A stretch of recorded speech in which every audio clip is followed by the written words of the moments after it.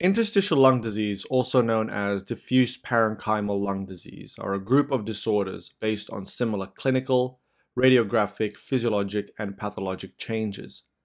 When people think about interstitial lung disease, they think about fibrosis, restriction in the lungs. And there are many, many causes of interstitial lung disease.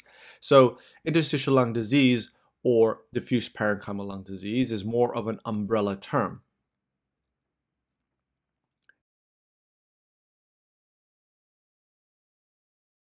Interstitial means the interstitium, which is where the disease process often begins. The interstitium is between the alveoli and capillaries of the lung.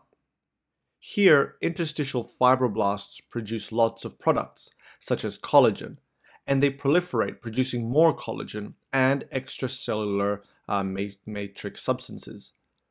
These interstitial changes is what causes the restrictive pattern. However, in reality, the disease affects more than the interstitium. It affects the alveolar walls and often the related small airways and distal pulmonary vasculature. And so diffuse parenchymal lung disease is more appropriate uh, name of the disease rather than interstitial lung disease. And again, these interstitial changes causes an abnormality in gas exchange. So you have an impairment in gas exchange between oxygen and carbon dioxide. Like other lung diseases, these disorders present primarily with shortness of breath, usually chronic over weeks to months, without response to initial treatment of puffers. It's associated with a non-productive cough. If there's clinical suspicion of uh, diffuse parenchymal lung disease, they should undergo full pulmonary function test. You want to identify a restrictive lung disease, which is identified by a reduced total lung capacity and vital capacity.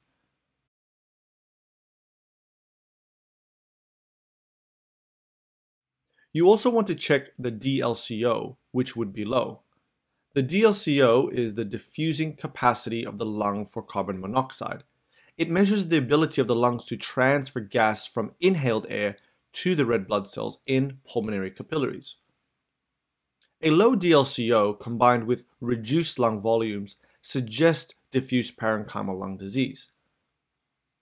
A low DLCO because gas is unable to transfer through the diseased alveoli, interstitium, and capillaries. A normal DLCO associated with low lung volumes is consistent with an extra pulmonary cause of restriction. Extra pulmonary causes of restriction means something outside the lung causing restriction of the lungs, so restricting the lungs to expand. And this includes obesity, pleural effusion or pleural thickening, neuromuscular weakness or kyphosis, as well as many other causes.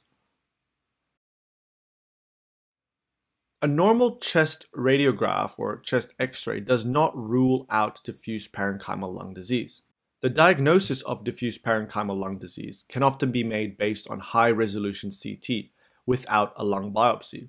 So high res CT of the chest is gold standard, you can say. As mentioned, diffuse parenchymal lung disease is an umbrella term because there's so many causes, but the hallmark is the same. You know, you have the restrictive pattern with the reduced DLCO. The diffuse parenchymal lung disease are divided into those that are associated with a known cause of diffuse parenchymal lung disease or unknown cause of diffuse parenchymal lung disease or weird and wonderful rare causes. So let's look at each of these in a bit more detail. So known causes of diffuse parenchymal lung disease include drug-induced, smoking-related, radiation-induced uh, interstitial changes, chronic aspiration, secondary from, let's just say, gastroesophageal reflux, pneumoconiosis, which is like worker's lung, connective tissue disease, including you know SLE, uh, rheumatoid arthritis, scleroderma, hypersensitivity pneumonitis, which is essentially a response to an allergen, so it's a hypersensitivity reaction. Then you have the unknown causes of diffuse parenchymal lung disease. Uh, and this includes idiopathic interstitial pneumonia, which comprise of three main ones. Idiopathic pulmonary fibrosis, which is a classic honeycomb appearance on CT chest, acute interstitial pneumonia, and cryptogenic organizing pneumonia, which looks like just pneumonia in both lungs, patchy all throughout, uh, subpleural. Then you have sarcoidosis, which can present as a diffuse parenchymal lung disease as in a late stage, and this is the classic uh, mediastinal lymphadenopathy. Finally, you have the rare causes of diffuse parenchymal lung disease with well-defined features. This include lymphangioliomyomatosis, eosinophilic pneumonia, pulmonary alveolar proteinosis, pulmonary Langerhans cell histiocytosis or histiocytosis X. And there are many other types of diffuse parenchymal lung disease which I have not mentioned, but these are the main ones. I hope to create videos on uh, the main diffuse parenchymal lung disease uh, soon. Some high yield points to remember when approaching diffuse parenchymal lung disease or interstitial lung disease or any other lung disease for that matter is to consider which areas of the lungs these disease affects. Because some uh, of these uh, lung diseases affect have an upper lobe predominance and other diseases have a lower lobe uh, pre predominant uh, disease. So let's look at upper lobe predominant disease. With this, you can remember the different causes by the acronym BREASTS. So B is for berylliosis, which is a type of pneumoconiosis. R is for radiation fibrosis. E is for eosinophilic pneumonia, as well as hypersensitivity pneumonia, which have eosinophils. A is for allergic bronchopulmonary aspergillosis, as well as ankylosing spondylitis, which is a type of rheumatic connective tissue disease. S is for sarcoidosis. T is for tuberculosis. Remember, sarcoidosis is typically mediastinal, but it also has upper lobe predominance. S is for silicosis. And again, this holds true for majority of pneumoconiosis, that they have upper lobe predominance. Uh, interestingly, they also present with small nodules typically in the upper lobes. For lower lobe predominant disease, you can remember the different causes by the acronym AIDS. So A is for asbestosis. I is for idiopathic pulmonary fibrosis, which is the classic honeycomb changes on CT chest.